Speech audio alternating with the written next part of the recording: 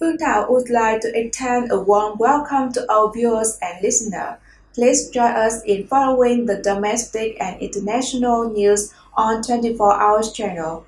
Right now, let's go through the main noteworthy contents that have been addressed in today's program.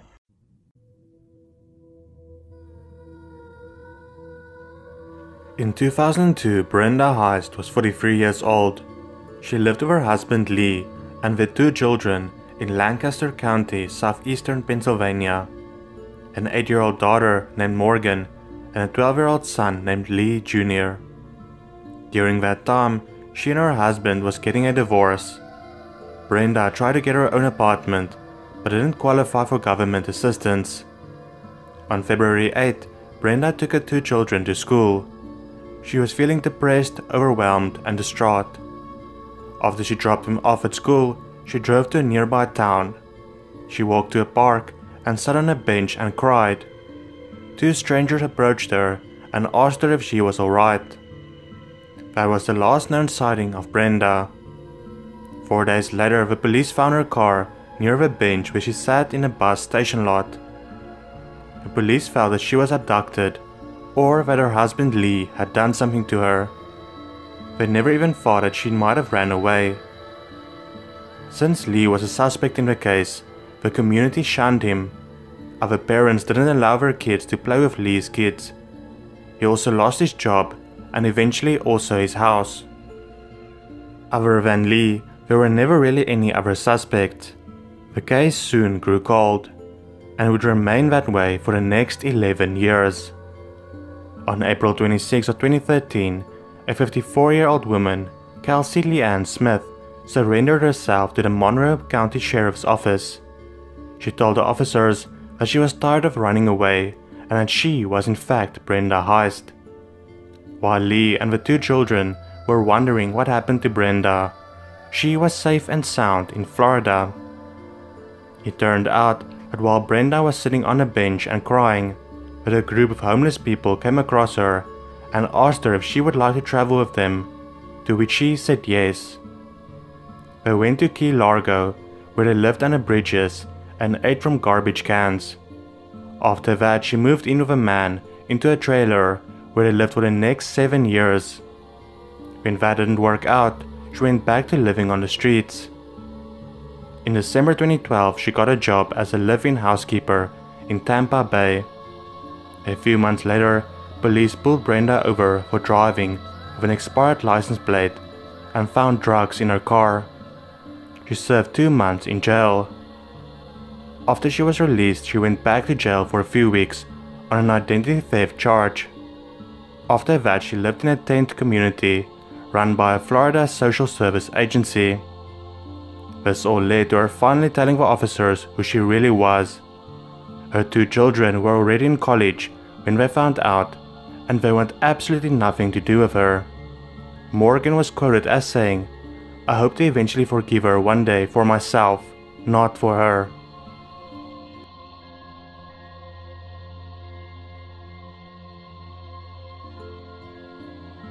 John Darwin was born on August 14, 1915, England. On 22nd December of 1973, he married Anne Stevenson. He worked as a teacher and later decided to become a prison officer. On the 21st of March 2002, John was seen paddling out to sea in his kayak. When he didn't show up for work, he was reported as missing. A massive search was launched immediately the next day, a paddle was found that could have belonged to John. Later that day, the wreckage of the kayak was found. The rescuers were amazed by how John could have gotten into such big trouble when the conditions were so good. His death certificate was then issued, which allowed his wife to claim £25,000 of insurance. The mortgage of £130,000 was also paid off.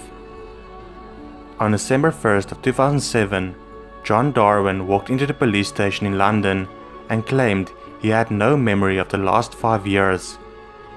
The police did not believe him and did some investigating. This is what they found. The Darwins faked John's death. He went to live next door to their family home and moved back in with his wife in 2003. Also in 2003, one of her tenants actually saw John and asked him, Aren't you supposed to be dead? But John convinced him to keep quiet. In 2006, the Darwins flew to Panama since they considered moving there permanently. Here is a photo of the two of them took of an estate agent. They sold all of their properties in the UK and moved to Panama.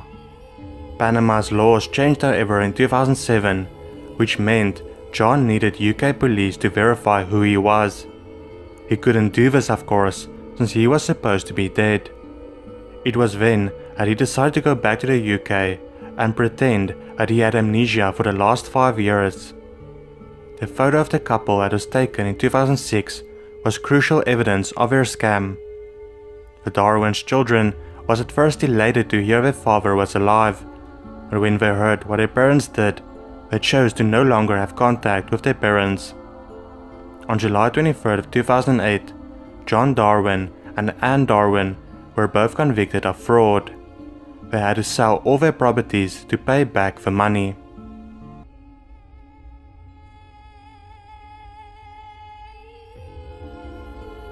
Charles Bothwell and Monique Dillard was a Detroit couple living with their son Charlie.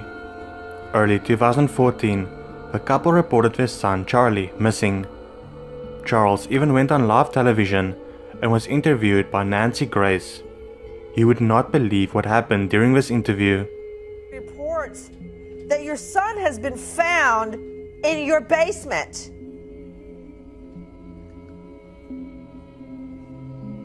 Sir? Mr. Bothwell, are you are What? you Yeah, we are getting reports that your son has been found alive in your basement. What? Yes, that's what. If, if you could hand me that wire very quickly. Yeah, we're getting that right now from from. Yeah, how how could your son be alive in your basement? Uh, uh, oh, oh, shit. I, I have I have no idea. Uh, I,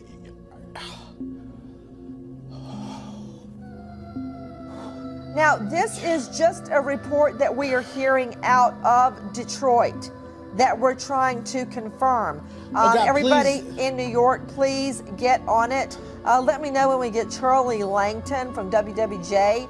We've been we've been on the lookout for him. We searched that entire house repeatedly. The FBI searched, the Detroit police searched. We've all searched. That is right, 11 days after Charlie went missing, he was found in a family's basement. Charlie claimed that his mother locked him in a basement and he was too afraid to come out. In April 2015, the couple were arrested and charged with torture and second degree child abuse. Charles pleaded guilty.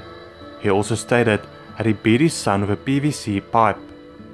He was sentenced to 18 months of probation and mandatory anger management classes. Monique accepted a plea deal, but the details were not made public.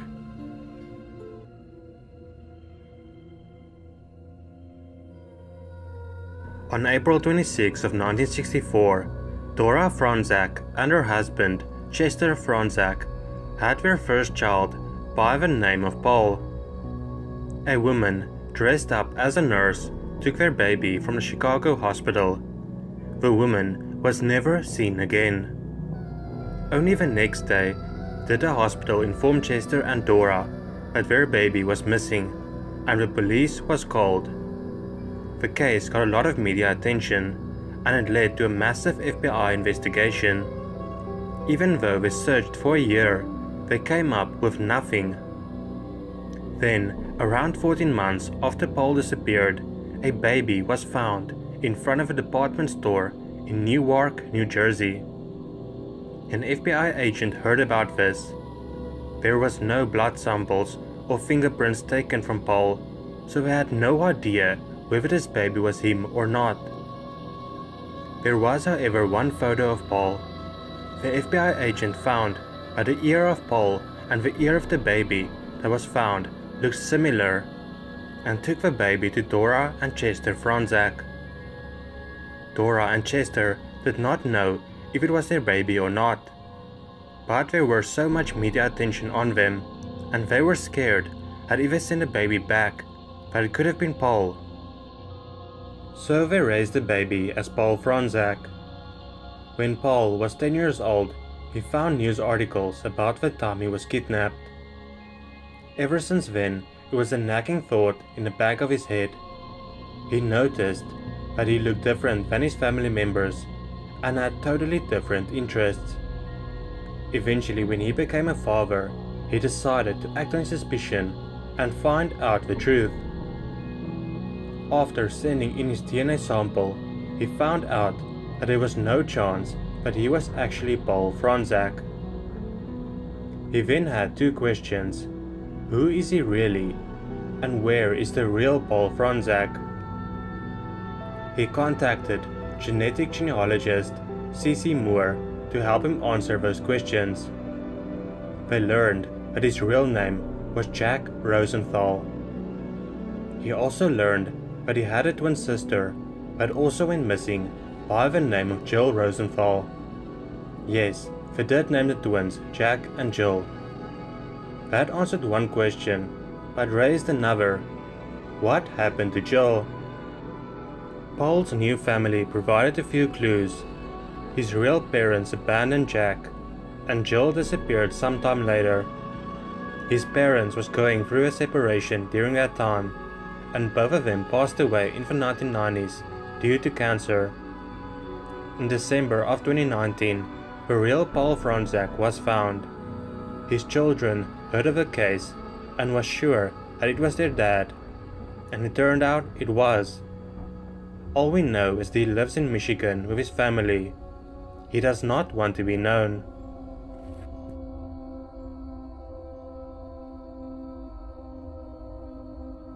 Flora was born in 1939 in New York. After she finished school, she worked at a Concord for a few summers. The Concord was a resort with more than 1,200 rooms. She was one of hundreds of people that flocked to the area to work there over the summer. A man by the name of Robert Stevens also worked at a Concord. By 1975, they were married. On August 3rd of 1975, Robert took his wife Flora to the hospital. Two hours later, when he came to pick her up, she was nowhere to be found. He soon learned that she never even turned up for her appointment at the doctor's that day. Robert reported her missing to the police. Seasonal workers often disappeared because went back home suddenly. But despite that fact, Flora's case was taken seriously. In 1985, Robert passed away. He never did find out what happened to his wife. Thirteen years later, the Concord shut its doors. In September of 2017, a skeleton of a woman was discovered in Orange County. It was thought that it might be Flora's. The case was assigned to Detective Rich Morgan. He found out that Flora had no living relatives. This meant that they couldn't determine whether Flora's DNA matched the DNA they found. The detective did however notice that there was someone using Flora Stevens' social security card number. A woman by the name of Flora Harris who lived in an assisted living facility in Massachusetts. He also noticed that this woman had the same birth date as Flora Stevens. On October 24th, he made his way to the assisted living facility. He showed her a photo of Flora Stevens before she disappeared. The woman simply said, Me. When showed a photo of Robert, she said his name. He then lastly showed her a photo of the Concord back in its glory days and she started to smile brightly. Flora Stevens was finally found after 42 years. Sadly, the 79 year old has dementia and can't remember how or why she disappeared in the first place.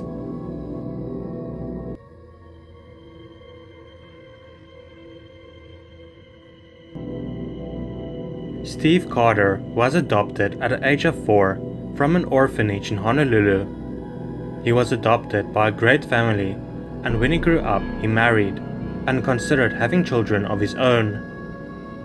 He started getting curious as to who his real parents are. One day he clicked on missingchildren.com. Steve found an age progression image of a missing person by the name of Marx Panama Moriarty Barnes. He instantly recognized the photo as himself. Stephen volunteered for a DNA test and learned that he was in fact a missing child. His biological father, Mark Barnes, reported him missing more than three decades earlier. His mother, Charlotte Moriarty, took him for a walk and never returned. When he was four years old, Charlotte gave him up for adoption, and so he became Steve Carter. I think it's pretty incredible how he found himself.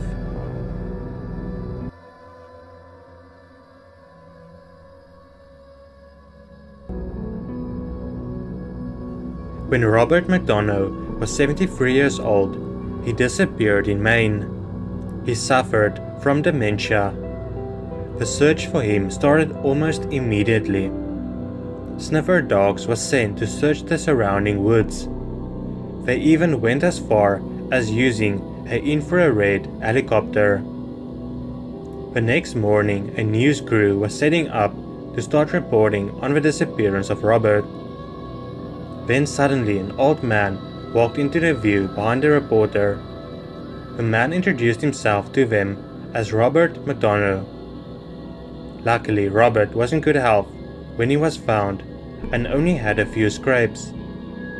It is thought that he simply wandered off from his home and walked into the woods. Robert doesn't remember where he went or why he wandered off to begin with. His family promised to keep a closer eye on him and even said they are looking into GPS devices to help track Robert's whereabouts.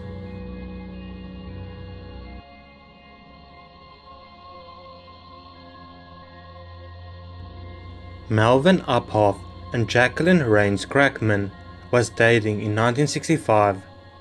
The thing was, both of them were married to other people. Also in 1965, the two of them disappeared from a Nebraska town about a month apart from each other. It turns out the two of them simply ran away together and did not want to be found. There is very little known about this case, since Malvin and Jacqueline want their privacy. The two of them are still together and living in another state.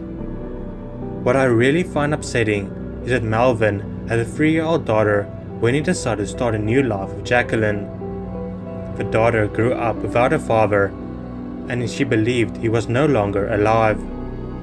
When questioned, she stated, I don't know what's worse, finding out my dad was dead, but he'd abandoned his family and has been living a new life.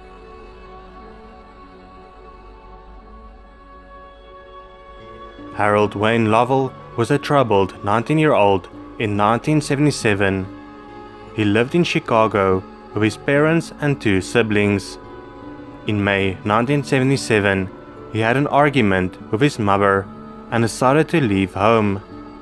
Harold told his family he was going to look for a construction job, which he did.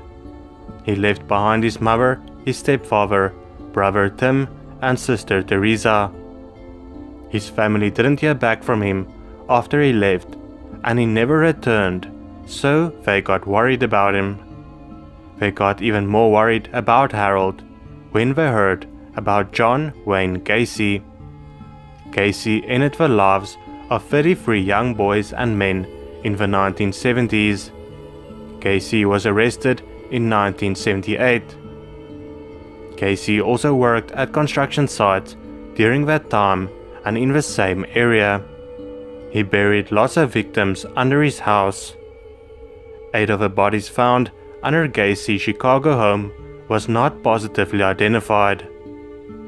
In 2011, the police asked all families who believed they are related to one of the eight unknown victims to come forward and send in their DNA. Howard's two siblings Tim and Teresa sent in their DNA since they strongly believed Howard was one of the eight victims. The DNA did not help solve this case. Before the test could be complete, there was a shocking revelation made. Tim and Teresa's nephew found a mugshot on mugshots.com of a person with the name Howard Wayne Lovell. The photo was of a man from Florida who was arrested in 2006 for possessing marijuana. The family quickly tracked Howard down in Florida. Howard immediately came to visit his family. He told them that he did go to work on construction sites, and believe it or not, but he did work with John Wayne Gacy for a while. Howard used to work in Gacy's garden every now and then. Gacy always tried to get him to come inside the house, but Howard always said no, because something felt wrong. Howard was sad to learn that his family thought he was not alive anymore. He never contacted them because he was under the impression they didn't care about him and wouldn't miss him at all. Howard had a few run ins with the police, one of them resulting in the mugshot that led to him being found. While he was gone, he married and moved to Wisconsin, but when he got divorced, he decided to move to Florida. Howard's brother had this to say I always had that inkling of hope he was alive. I would say, God, let me see my brother one more time.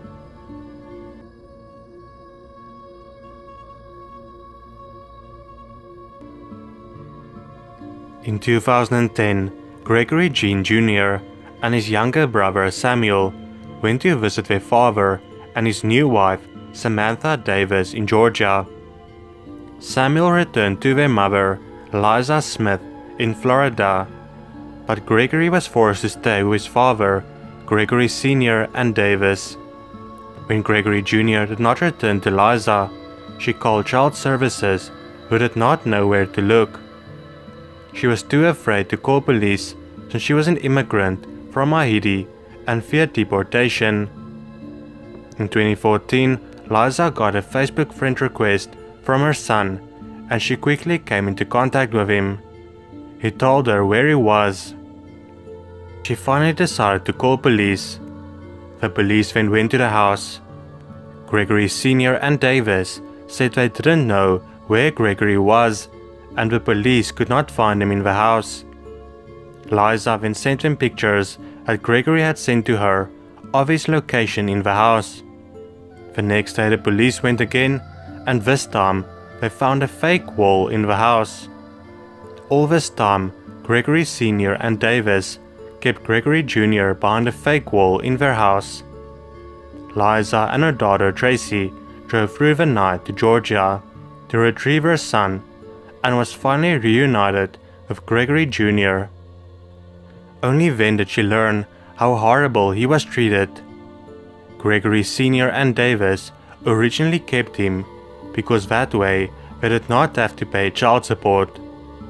Gregory said he was beaten with a stick, humiliated, forced to work as a maid, banned from celebrating Christmas, and isolated from the outside world.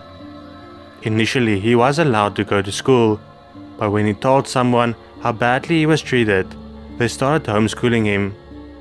Gregory hatched a plan, though, to contact his mother. He found a cell phone and connected it to a Wi Fi network. He then downloaded an app that allows you to call via Wi Fi. That was how he was able to call his mother and then continue messaging her on Facebook. Gregory Sr. and Davis have been charged with child cruelty and false imprisonment. Gregory Jr. asked for mercy for his father and stepmother. I just want to be free to live my life and let them live theirs, is what he had to say. One day, he wants to be a lawyer so he can hopefully help others.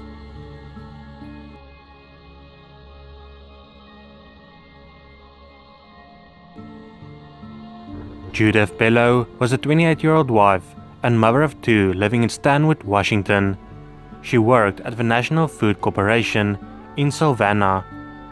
One day, in 1993, she was supposed to pick up her son from daycare, but never did. The police found her car abandoned at the Stanwood post office. There was nothing in the car that would indicate where she went, but they feared that she was met with foul play. Judith was close to her siblings, and they didn't believe that she would just leave everyone behind. The police had no leads, and the case went cold. That would be until 2011. In 2011, the Snohomish County Sheriff's Department received a call from a woman claiming to be Judith Bello. She told them that she just saw herself on a deck of cards about missing persons cases. She wanted to make sure that they did not need to look for her and her case was now solved. The police had to make sure that it was the real Judith Bello. They learned that she was now living in California. After some investigating, they were able to confirm that she was indeed the missing woman. Judith then called some of her family members to tell them she was alive and did not need to worry about her. She gave him a reason she disappeared. Judith wanted to get away from her abusive husband. She now had a new husband and they had three children of their own. Her family was just glad she is safe and was happy to hear news that she also had three sons. Judith claims she was scared to contact her family because of her first husband and what he might do to her siblings. Judith spent Thanksgiving and Christmas with her family and is now making up for lost time.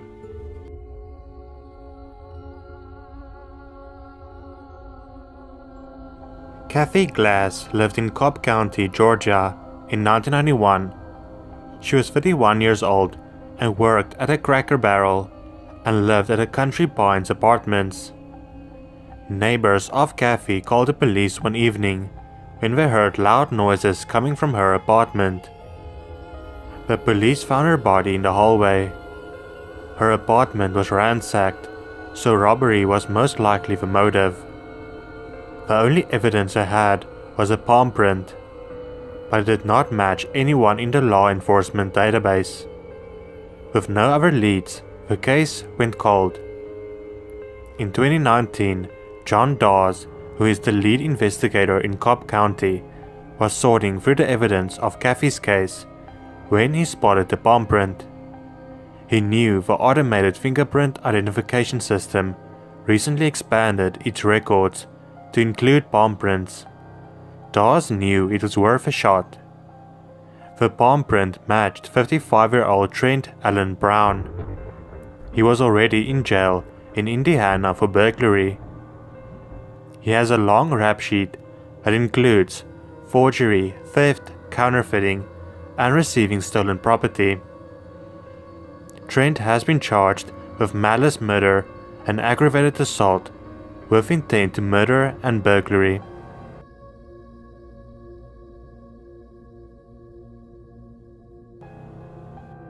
Denise Sharon Kulb was a 27 year old woman living in Pennsylvania with a boyfriend, Theodore Dole Donahue, who worked as a pizza delivery guy. On October 18, 1991, according to Donahue, the pair of them used crack cocaine and were robbed at gunpoint. Donahue says that Denise went to get help, and that was the last time he saw her. The next day, Denise attended a funeral with her family. That would be the last day they ever saw her alive. Three weeks after the funeral, a passerby found Denise's body in Birmingham Township, Delaware County. Her cause of death was most likely asphyxiation. It was difficult to say due to the decomposition. A long yellow sock was found on her lower back. The police also found a long yellow sock in Donahue's apartment. But they lost the yellow sock found at the crime scene and couldn't verify if the two socks was a pair. Donahue was a major suspect in the case, but no more evidence came forward and the case went cold. That was until 2015. Byron Wolfe, the head of the photography program at the Temple University's Tyler School of Art and Architecture used techniques to bring out details in the original crime scene photos. That was used to match the yellow sock that was found on Denise to the yellow sock found in Donahue's apartment. More and more information came to light that incriminated Donahue. He actually saw Denise after the funeral when he argued with her. The police found out that Donahue stayed at a motel a couple of times a year that was less than a mile away from where Denise was found. Donahue also admitted to the police that his nickname was Ted Bundy. Lisa Campbell, who worked with Donahue at a restaurant in the 1990s, testified that he told her that he once had a roommate who died on the couch and he was questioned by police about the death. She found it odd because he acted like he got away with something. Amber Booth, who had been a roommate of Donahue's in 2012 when they worked at Golden Crust Pizza, testified that Donahue told her one day he had just returned from visiting a spot in the woods where a former girlfriend's body had been found. He said that the woman's name was Denise, and she was found face down, naked, with her legs spread. That is information only the killer and the police would know at that point. Donahue was finally arrested on 3rd September 2019 and charged with murder, abuse of a corpse, tampering of evidence, obstruction of justice, and false reports to the police.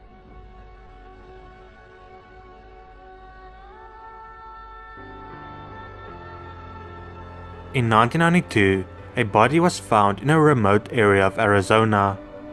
The body was later identified to belong to a single mother, Denise Johnson.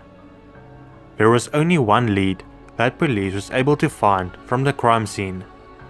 They found a beeper, also known as a pager. The owner of the pager was truck driver Mark Bogan. When interviewed by police, Bogan claimed that he picked up Denise Johnson hitchhiking. At one point, Bogan claims Denise tried to steal his wallet and pager, but did not get away with the wallet as well.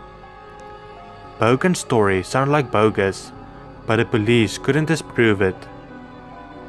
Also near the crime scene, there was a scrape on a branch of a tree.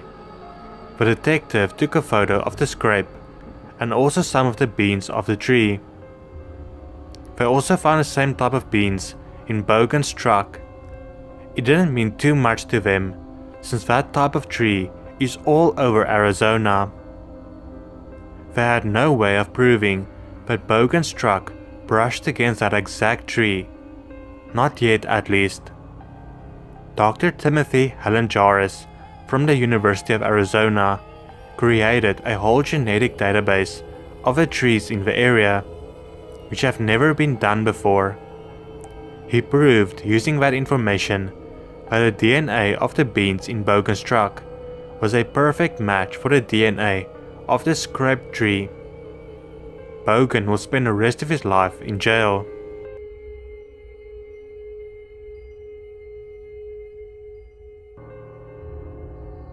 Roy McCaleb was a 51 year old man living in Texas and working as a foreman at a construction company in Texas. He was also a Korean War veteran. He lived with his wife Carolyn, his son, and his son's wife. In 1985, all four of them were in the house when Roy was shot to death. Carolyn told the police that it was a man who assaulted her 10 days earlier that shot and killed her husband. She claimed that a man took her gun she had under a pillow and used it to shoot Roy. Roy's son, however, stated that he heard no one breaking into the house. Police also found no evidence of forced entry. Another strange thing was that she had been married to six men.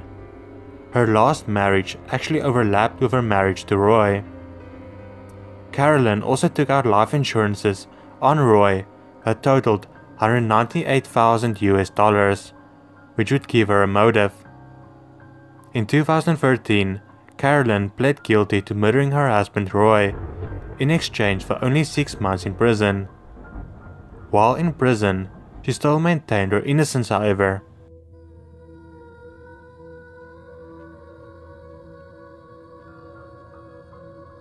Pamela Milam was 19 years old and studying at Indiana State University.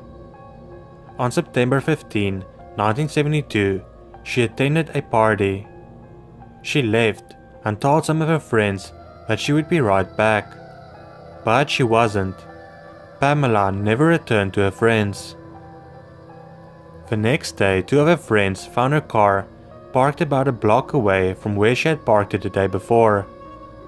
An hour later, Pamela's sister Sheila and her father went to Pamela's car with a spare set of keys.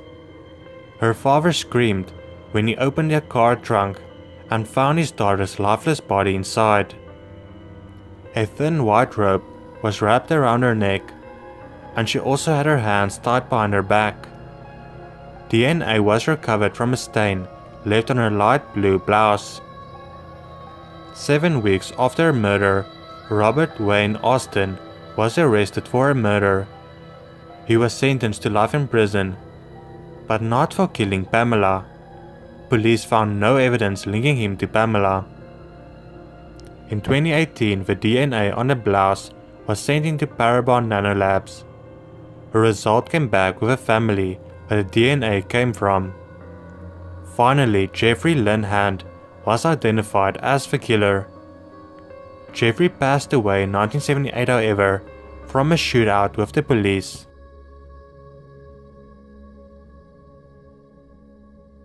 Gabriel Nagy lived in Sydney, Australia with his wife Pamela, his son Stephen, and his daughter Jennifer. Gabriel immigrated to Australia with his parents when he was just a young boy and loved life in Australia with his family. He was a devoted father and had a family that respected him and couldn't imagine anything ever getting between them. But unfortunately, something did. Gabriel worked as a shop fitter. He helped companies build retail spaces around the city. He wanted to be an accountant, however, and was taking classes to achieve his dream. In 1987, Gabriel went into the city to run some errands. He called his wife Pamela to tell her that he would be home for lunch. Pamela made lunch and waited for her husband, but he never came home. She waited until she received a call that changed her life forever. The police had found a burned out shell of Gabriel's car on the side of the road. There was no sign of Gabriel Nagy to be found. Pamela and her two children started putting out missing persons flyers all over Sydney. Surely someone had to know what happened to Gabriel after the car accident. Unfortunately, no one knew. Two weeks after Gabriel disappeared, the police determined that he withdrew money from a bank in the city of Newcastle. Newcastle is about 100 miles away from Sydney. His family was hopeful about this new lead and believed this would help them find Gabriel. The lead turned into a dead end however, and the case went cold for two more decades. There was a senior constable by the name of Georgia Robinson. She promised herself that she would solve this case. In her last attempt at finding Gabriel, she did just that. She looked through some files when she came across something. The Medicare system in Australia showed documents that a person named Gabriel Nagy recently underwent eye surgery. Her records also showed that a man went by another name, Ron Saunders. Constable Robinson called this man. The man told her that the last two decades of his life was fuzzy, to say the least. He spent most of the time homeless just wandering from city to city. That was until a pastor by the name of Barry Heho came across Gabriel. The pastor gave Gabriel a job at a church as a caretaker. Gabriel got a name Ron Saunders from a sign for Queensland's Saunders Beach while he wandered around. His memory slowly came back, so when he got eye surgery, he gave the name Gabriel Nagy as well. Robinson flew to where Gabriel was currently living and showed him pictures of his family. more and more of his memories started to come back. The car accident Gabriel was in left him with a serious head injury. He then fell into a fugue state, which led him to forget everything about his life. Gabriel described the situation as unreal. He still didn't fully remember his family. He vowed to keep in touch, but he couldn't bring himself to move back in with his family.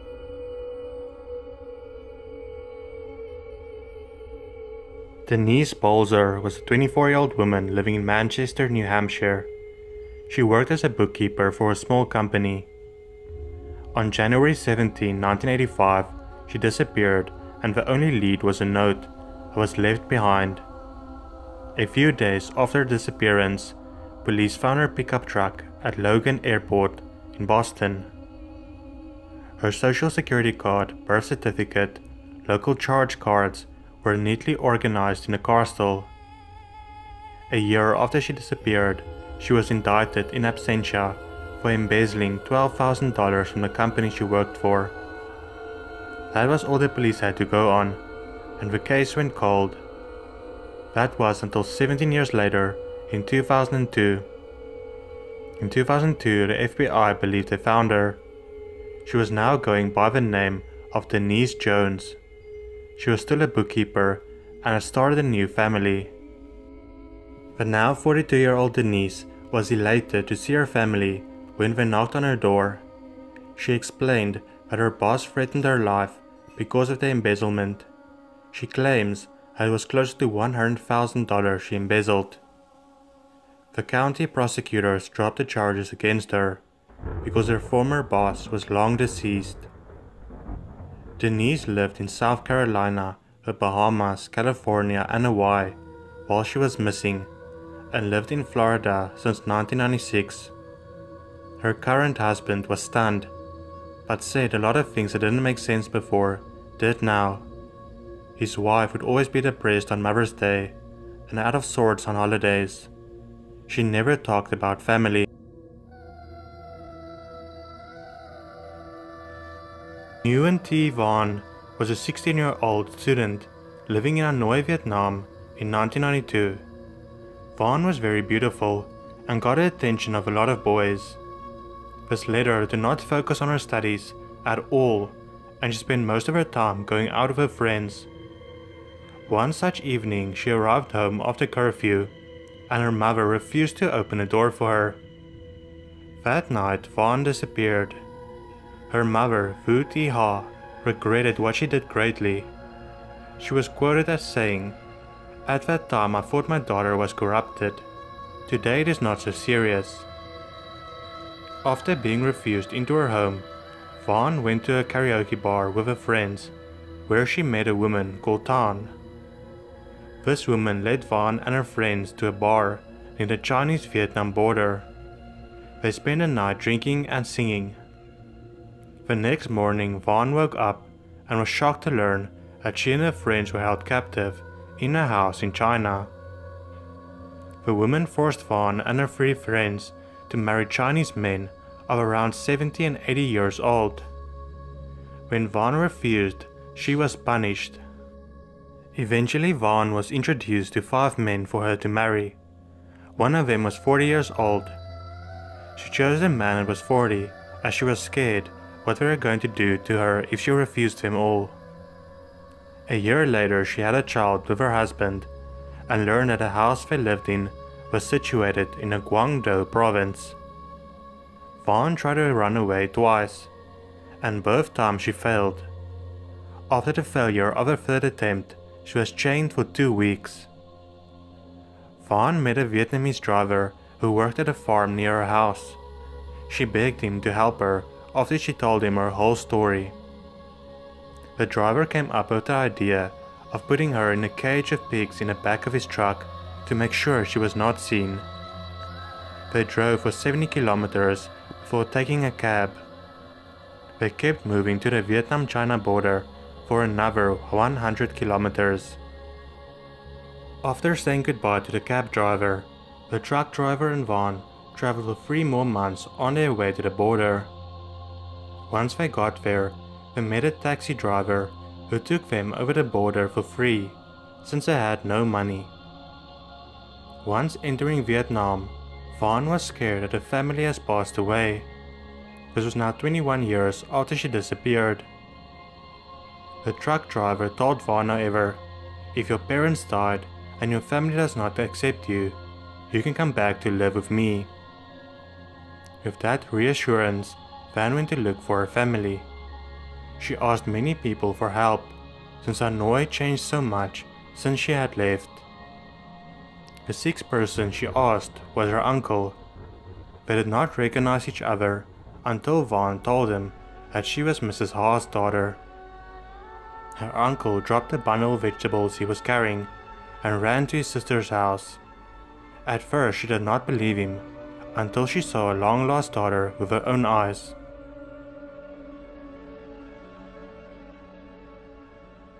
Petra Pazsitka was a 24 year old computer science student at a Braunschweig University in Germany. On July 26 of 1984, she visited her dentist and then went to a shop to buy a printer cartridge that she planned to give to her younger brother Karsten for his birthday. Petra also tells her neighbor Misha to water her plants while she's away. She planned on visiting her parents in Wolfsburg for the holidays. Petra informs her parents how she's looking forward to be there for the holidays, finishing her schoolwork and when looking after her younger brother. Her family was excited for Petra to come home, but unfortunately she never did. At first they thought that she stayed longer at the university, but there were no signs of her there. Two days later, when she missed Karsten's birthday party, her parents finally reported her missing. There was not too much to go on for the police, and the case went cold. In 1985, a 19 year old carpenter's apprentice, simply known as Gunter K., confessed to ending the lives of both Petra and a 14 year old. The police did not believe his story, however, and found that he had nothing to do with Petra's disappearance. In September of 2015, 31 years after Petra disappeared, there was finally a breakthrough in the case. The police was called to an apartment in Düsseldorf belonging to a 35 year old woman by the name of Petra Schneider. The police wanted to see her ID, and only then she told them the truth that she is the girl that went missing 31 years ago. She said that she carefully planned her disappearance. Even after being found, she wants no contact with her family. Since her disappearance, she had been living in various places across Germany under the name of Petra Schneider. She had no passport, identity card, bank account, doctor, dentist, or insurance. If it wasn't for the burglary at her apartment, the case may never have been solved. She saved up 4,000 Deutsche marks, equivalent to 1,500 pounds, to fund her disappearance and moved into an apartment in Gelsenkirchen. Petra avoided everyone and kept to herself mostly. Her family is devastated. The police is trying to arrange a reunion between Petra and her family, but she is adamant about never wanting to see them again. Thank you all for your attention and viewership. Please leave your feedback in the comment section of this video so that we can timeline respond and address any question you may have assisting you. If you find it interesting, please like and click the bell icon below to not miss the latest video from our editorial team. Goodbye and see you again in the next new update from 24 Hours channel.